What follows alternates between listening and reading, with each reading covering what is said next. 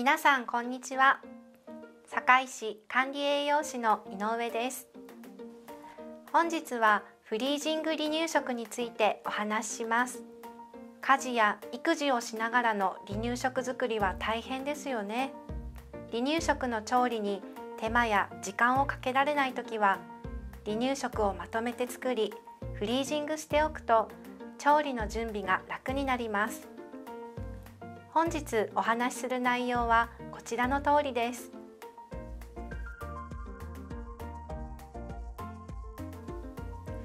フリージングをする時の4つの基本です。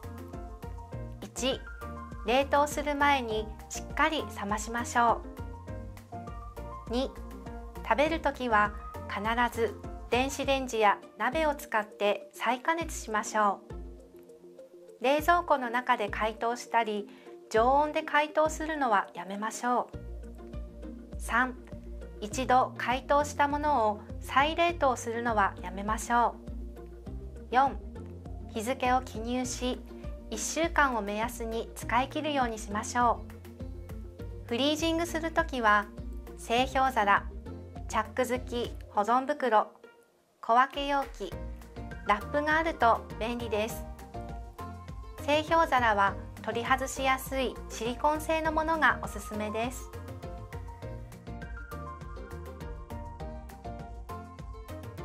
レンジで解凍する時の3つのポイントです。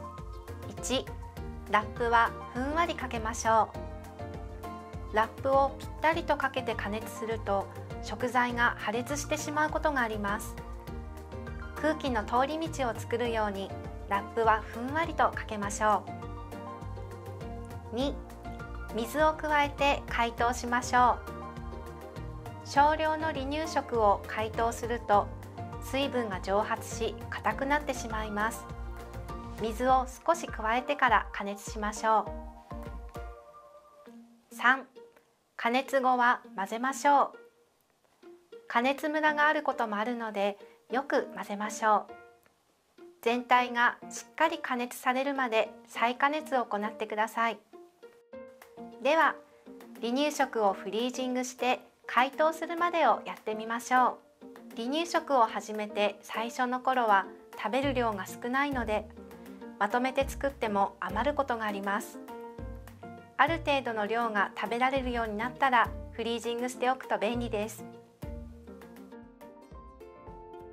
潰しがゆをまとめて作っていきましょう。材料はご飯 50g 水 200cc です。この分量で大さじ1の潰しがゆ約10回分ができます。鍋にご飯と水を入れご飯をほぐします。蓋をし沸騰するまで中火にかけます。沸騰したら蓋を少しずらして弱火で25分加熱します。から下ろし蓋をして10分蒸らします。温かいうちにすり鉢やブレンダーを使って潰します。製氷皿に大さじ1ずつ入れます。冷めたら冷凍庫に入れ凍らせます。調理した日と食材名を記入し1週間を目安に使い切るようにしましょう。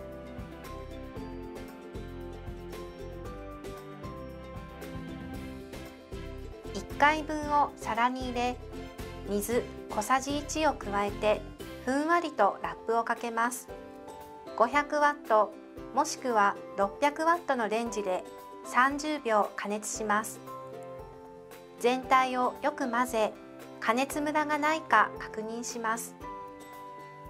ラップをぴったりとかけ1分ほど蒸らします。完成です。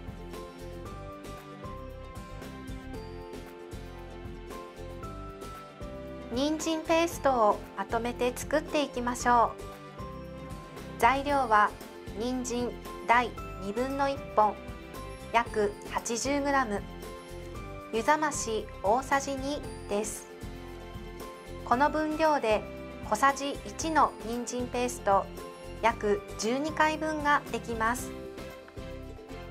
人参は皮を剥き1センチから2センチ程度のぶつ切りにします。鍋に水を入れ中火で30分ほど加熱します。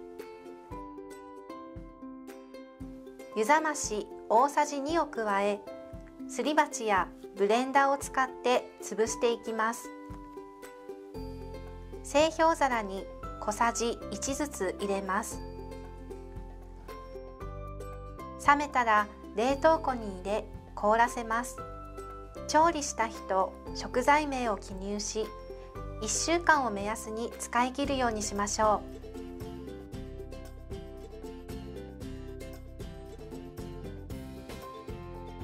1回分を皿に入れ水小さじ1分の1を加えてふんわりとラップをかけます。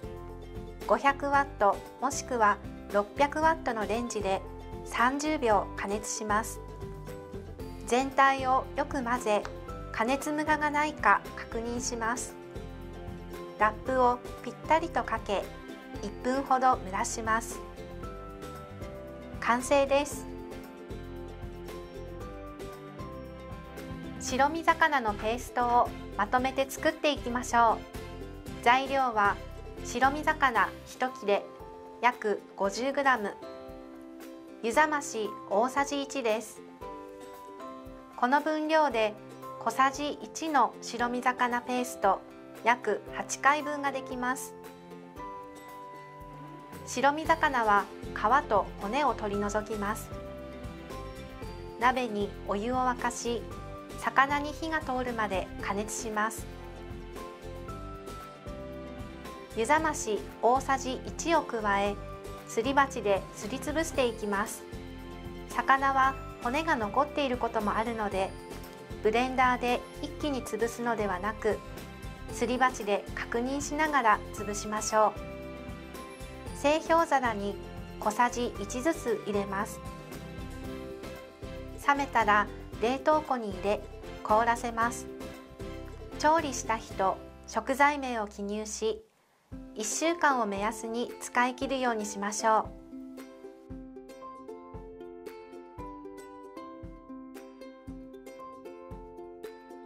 回分を皿に入れ水小さじ1分の1を加えてふんわりとラップをかけます。500ワットもしくは600ワットのレンジで30秒加熱します。水溶き片栗粉でとろみをつけると食べやすくなります。片栗粉小さじ1分の1と水大さじ1をよく混ぜ水溶き片栗粉を作ります。白身魚に水溶き片栗粉小さじ4分の1を加え全体をよく混ぜてふんわりとラップをかけます。500ワットもしくは600ワットのレンジで20秒加熱します。全体をよく混ぜ湯冷ましで硬さを調整します。ラップをぴったりとかけて1分ほど蒸らします。完成です。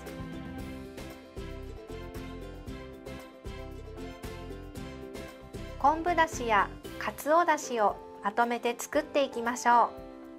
昆布だしは水 100cc に昆布 1g を3時間ほどつけておきます。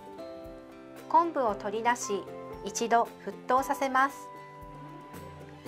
冷めたら製氷皿に入れ冷凍します。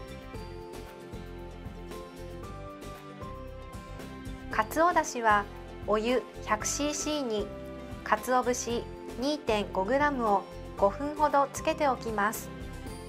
キッチンペーパーを使いかつお節をこします。冷めたら製氷皿に入れ冷凍します。野菜を煮ただしも同様にフリージングできます。